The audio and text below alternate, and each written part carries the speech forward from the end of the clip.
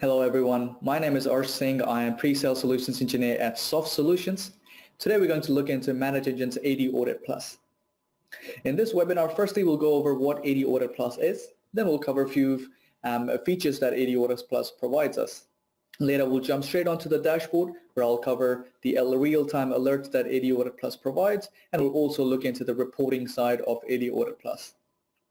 Also, we'll cover the uh, editions available for AD Audit Plus as well, and we'll finish off this webinar with a Q&A session where if you guys, so if you guys have any questions throughout the webinar, please put them down in the question section below and I'll be happy to answer them at the end of this webinar. So let's get started.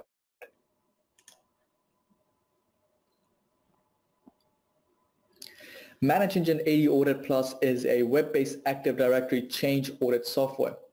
It provides comprehensive reports on almost every change that occurs in your Windows Active Directory and Azure AD. For administrator to have complete knowledge of all activities that occur on his Active Directory is very important. The who, where, and when information helps an admin identify any desired or undesired activity happening in Windows or Azure Active Directory. AD Audit Plus assists, assists an administrator with this information in the form of reports. It brings you 24-7 monitoring, email alerts, and easy-to-view pre-configured reports with over 200 plus reports. Um, and with these 200 plus reports, you can view the changes, compliance, and um, get real-time alerts.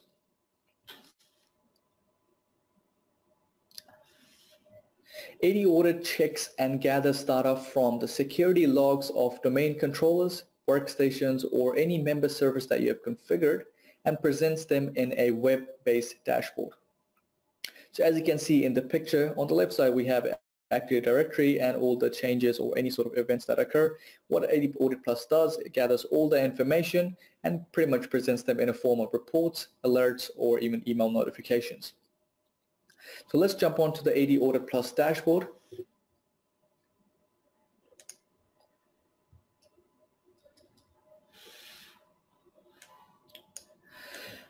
So straight off the bat, we see we jump, we get into the Home tab of AD Audit Plus.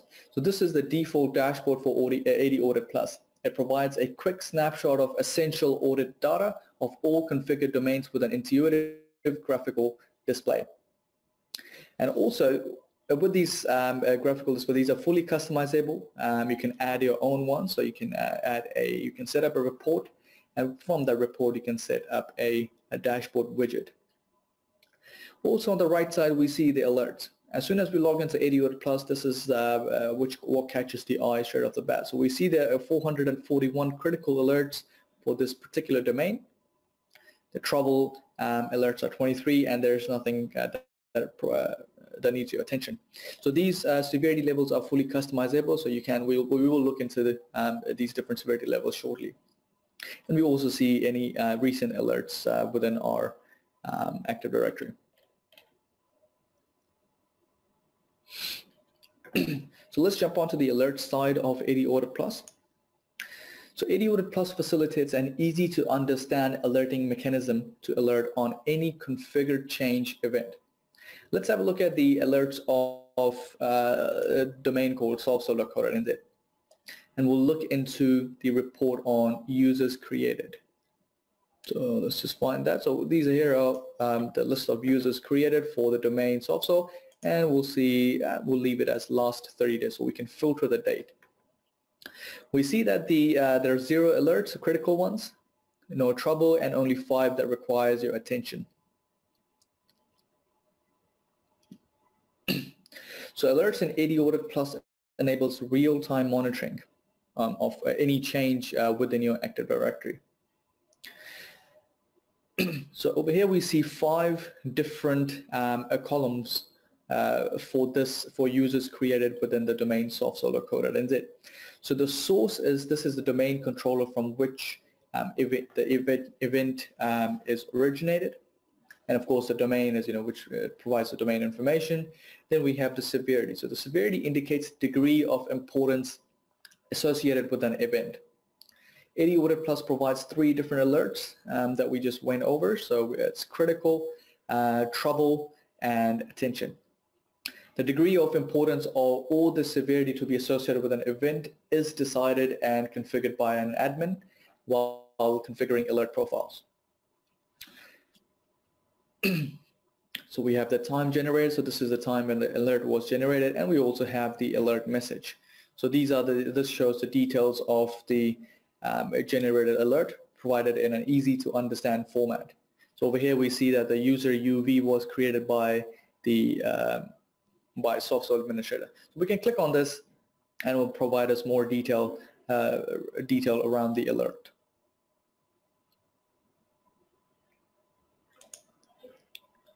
Um, if you have, if you think that you know this alert is okay, there's nothing, no action is needed from your side, you can select on the alert. So let's choose, um, yeah, just choose this one, and you can hit the clear button. So this um, alert has been successfully cleared, and now you only have four that require attention rather than five that were uh, initially there were five. Alerts configured in AD Audit Plus can be notified to one or more recipients via email. So let's go ahead and click on to the email notification we see over here in the top right.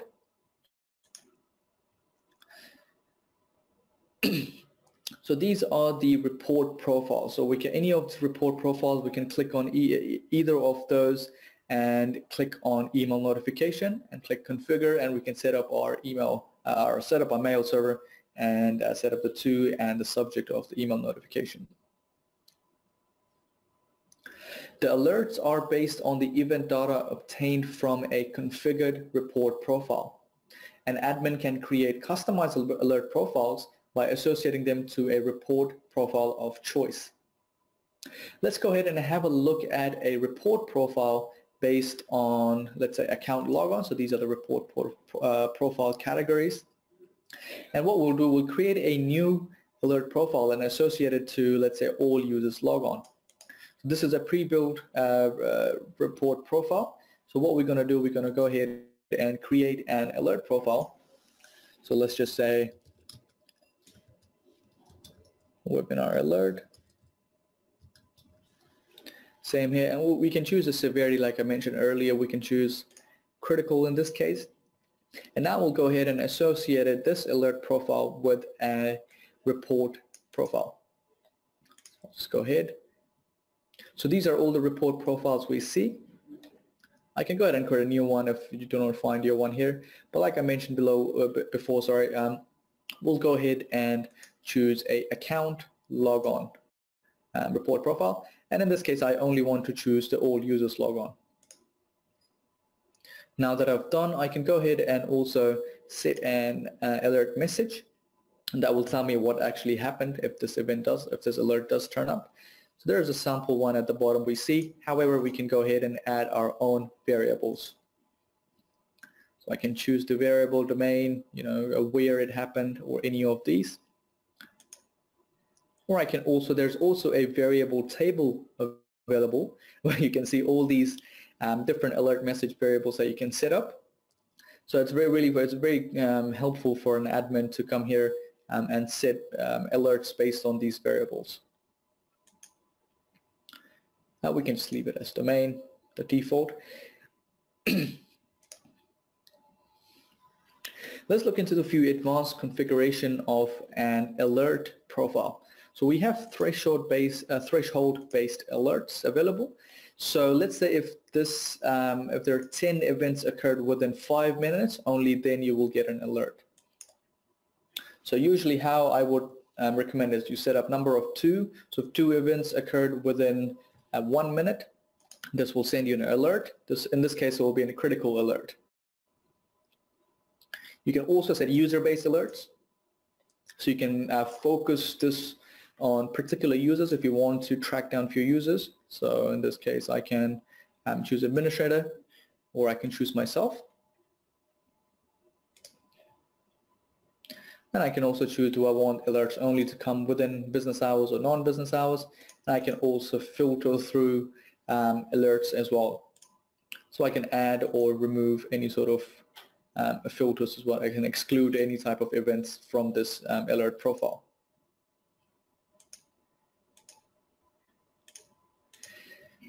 We can also, uh, like I mentioned uh, earlier, you can set email notifications. So over here we see we can set up our um, mail server. And we can also choose the email content and we can pre-build uh, as a template. So when these do occur so you can and you can also schedule these um, alerts uh, weekly monthly as well um, to a particular email address. And lastly we can also execute a script. So you can um, execute a batch script PowerShell script or a VB script or Visual Basic script. So let's just untick these and let's go ahead and save this uh, report profile. So we over here we will see that we have oh sorry alert profile. We've created these uh, this alert profile.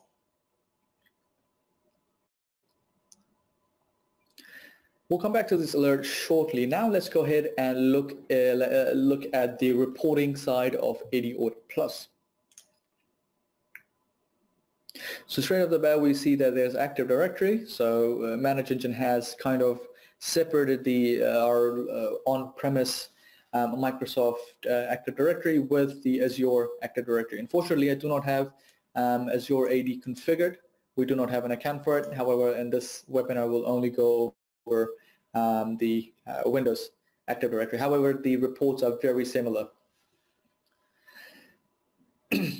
Let's say you need to check whether any user tried um, logging into the computers they do not have permissions to. So in that case, what we can do, so and this can be achieved via uh, by a logon failure report. So let's go into, yep, we are at the right place.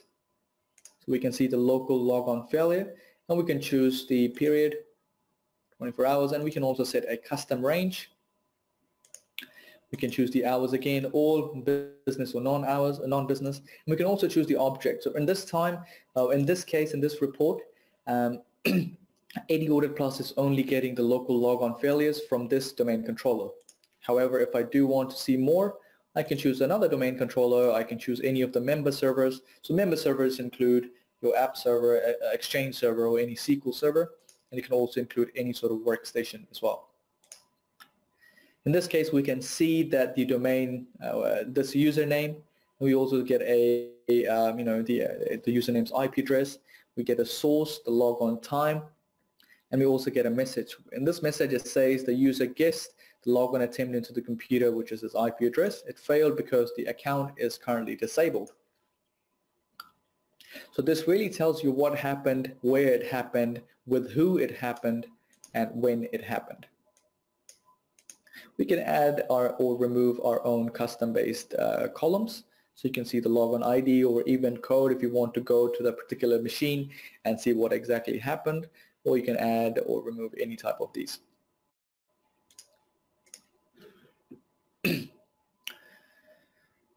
this logon failure report, you know, this provides information on the reason for a logon failure over a selected period of time. So information on logon failure, um, you know, like when a logon failure occurred, you know, when the logon failed account, what the logon failed account is, and any possible reason. So in this case, the reason is account currently is disabled. Let's take another example of the reporting side of AD Audit Plus. Let's say you want to know if anyone um, a logged in user is logged into multiple computers at the same time. So if one user is logged into multiple computers at the same time. For that, we would need to go to get out of the local logon, uh, logon logoff and go into the user logon reports. Now if I scroll down all to the uh, right at the bottom, we see users logged into multiple computers. This report is very beneficial for administrators, auditors, and managers as it provides the last logon data of user or multiple users uh, into multiple computers within a given frame time. So we see the last 24 hours, we choose our domain, and we get the um, information that we want.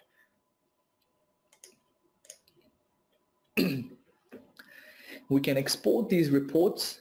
Uh, we can export them to CSV, PDF, Excel, or even HTML. We can make this report a favorite report, and we can add it to our um, uh, to our dashboard as well, and we can make this as a favorite report so it pops up um, on the home tab and we can create a have a printable view So within the printable view, um, we can see uh, all the details in a, in a much nicer in a table format.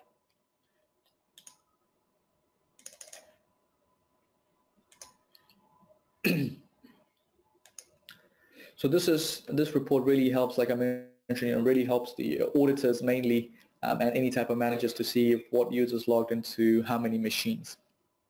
And you can set alerts based on this as well. And like I said, you can schedule this report, which is the schedule button, and I can schedule um, this report, this particular report. I can schedule multiple reports. Just go ahead and schedule new report. I can choose the domain, description, I can choose the available reports, and choose the frequency when I want these reports, daily, hourly, weekly, or monthly. And you can also choose a path where these reports need to be stored. You can email the report, and you can uh, put a comma and add multiple um, e uh, multiple email addresses at the same time. One of the most critical reports is to help pinpoint the authorized or unauthorized password change for an administration's like administrator's account. We can find this out by creating a custom report. So let's go ahead and first of all, let's go ahead and create a new report profile. So for that, I'll just need to go more and create a new report profile. And let's just name it admin's password. Copy this, same. And the category that we'll choose is user modification in order for us to find if an admin's password has been changed or not. And the action, in this case, the user password has changed. And we can also see uh, user account modified or if the username has changed as well, might as well. We choose our domain. In this particular scenario, we're only looking at administrator, so we can only tick the administrator. However, I can go ahead and choose my one as well if there are any, um, uh, if, the, if, if this password was changed or not, or any as if the username was changed. So now that we have built a report profile, let's go ahead and save this. So we see the admin password, we have made a report profile, all we need to do is go straight ahead and click on view reports. As soon as I click view reports, it will all the criteria that we mentioned, all the um, you know the attributes we mentioned within this um, uh, admin password report profile. It will, if there were any password change within the last 30 days or any username change or if the account was modified in any way, um, that information would pop up here with a graph and view uh, uh with a table information, which will further we will be able to export. But luckily there, my password hasn't been changed, so that is good. Um, we can also, uh, within the reports, there are other types of reports um, available as well. So um, um there are these, like I said, initially these are 200 plus reports, so um, I can't really go over all of those, but we can go ahead and look into, you know, we, there's a new report called log on failures. So within 24 hours for domain SoftSol, um, we can see um, we can see the username that has failed and we can see um, you know the details as well why it has failed when it has failed where it has failed. We can add this report onto our dashboard. If you want to see on a home tab we can add this as well let's have a look at any local there's a new report also user attendance so with this new one um, I have update, I recently updated AD Audit Plus and manager in Generator Plus keeps updating the reports as well. So, you know, it's very likely a few of the reports I'm seeing first time as well myself. We can see the user attendance for the server v2. Um, you know, uh, right now we're only looking at the objects administrator. We can go ahead and add any domain controls or any more users as well if we would like to. And there are other reports available for account, management, user group, OU management, or any permission changes, any DNS changes as well. You can create a custom report. If I just go ahead and create a new custom report, I can choose do I want to make a tabular report, graphical, summary report, um, you know, any sort of uh, matrix report as well. All of these can be made, um, uh, uh, all of these can be custom made, scheduled to yourself um, to particular emails and added on the home tab as well. Um, the compliance reports, so um, AD Audit Plus does support SOX, uh, HIPAA, uh, PCI, GLBA, um, FISMA, and also right now they also support GDPR as well, GDPR compliance reports. So these type of reports are um, available within AD or AD um, Audit Plus. If I just go PCI, I can see the logon history um, for the last 24 hours and go ahead and straight away export this report um, in uh, CSV or a PDF. So this report has been, and all I need to do is go ahead and save this. Let's have a look at this exported report for logon history. And this is how a exported report looks like um, in, in a PDF format. So we have again a very similar view. We have the table, uh, we have a graph, bar graph, um, a bar chart up there, and we also see a table view of um, logon failures of users. Let's see um, the number of files created or modified in the last 24 hours. In order for us to get that report, I would need to get out of the reports then go into the file audit tab.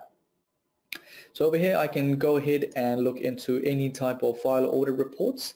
So for in order for us to get file audit that's available as an additional add-on. So initially you know AD Audit Plus it comes with uh, straight off the bat it comes um, for you to audit any sort of domain controllers you have. Uh, but if you want to do any sort of file auditing or any member server auditing, member server like I mentioned, Exchange, you know, um, application man uh, server or SQL server, then for that you will require a server audit um, add-on and also for workstations, if you want to do workstation auditing, you can go ahead and get a workstation um, add-on. So right now we're looking into the file audit, so I, I do have a file audit add-on and that allows me to see any files created um, for this domain in the last 24 hours for this domain controller. I can go ahead and see the message. We can see this user administrator created a file or a folder in this particular path. I can go ahead, I'm sure I can go ahead and add more um, columns as well. Use a primary user, uh, logon ID, I can choose a domain, what domain this we uh, this one we're looking at. You can see this domain is also, we can see the primary username if there was any. And same way we can see files modified or files deleted or files moved from one place to the other within the last 24 hours or any custom. Let's just see last six months. It might take some time to grab the data from uh, last six months old. So this is the data is being fetched from um, this domain controller.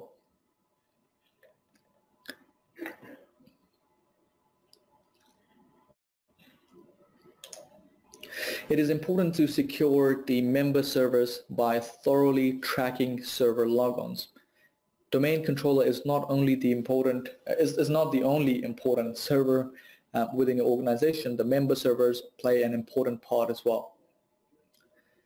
So this commands for a setting that is not only secure internally, but also audits every event logged into the security log of member servers and reports them as and when it demands. With AD Audit Plus, an administrator can audit much more on a member server. So let me go ahead and show you configured member servers. So in this case, I have three configured member servers with success. Um, and the last time the schedule ran, so last time I picked up the um, uh, reports or any sort of data event reports was today at 10.49 a.m.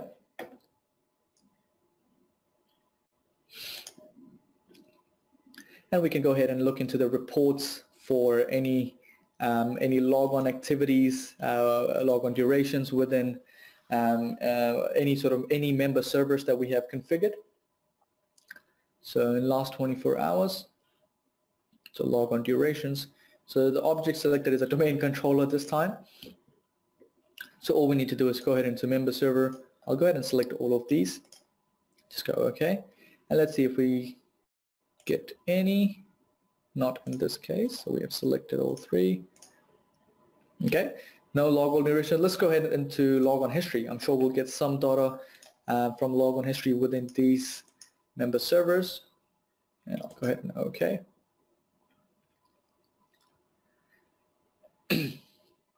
So we do see that uh, different uh, usernames, uh, user accounts have been logging into different uh, member servers and I can have a good look. It's very, it, this is very beneficial for auditing not just your Active Directory, but also your other servers within your organization. I can get the information very similar. So this view is very similar to what we've seen uh, initially in the other tabs.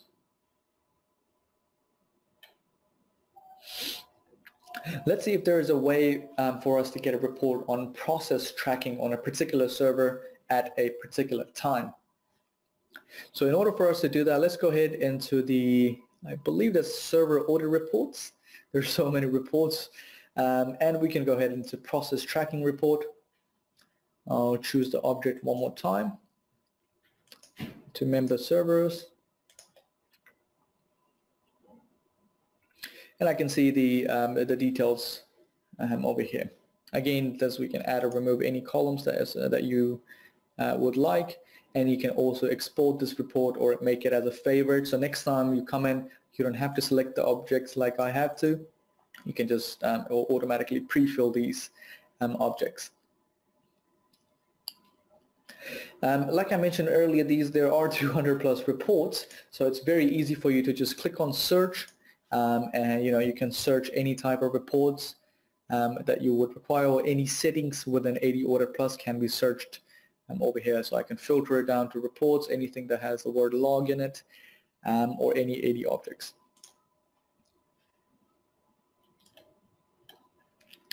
So um, this covers mainly um, uh, most of our um, uh, AD Audit Plus configuration, so most of our reports and how the alerts really work, how to set up alert profiles, and how to um, associate them to report profiles and get information according to that.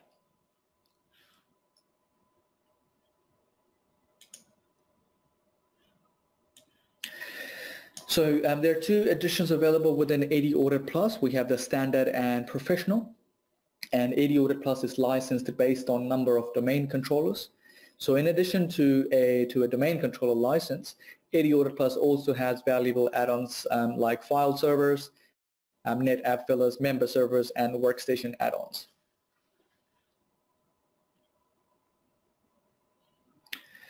And this is it uh, from me guys. So thank you for your time. Uh, if you guys have any questions, uh, please write them down in the question section and I'll be happy to answer them. Um, or if you guys have any other technical query around management products or a pricing question, um, uh, please reach us out at sales at manageengine.co.nz and we'll be happy to help you out. Or if you guys would like another personalized um, product demo, um, you know, at a time suitable to you, we can also organize that as well. And also check out our website, www.manageengine.co.nz and stay up to date with our latest blogs, forums, and events. Thank you for your time, guys. I really appreciate it. Thank you.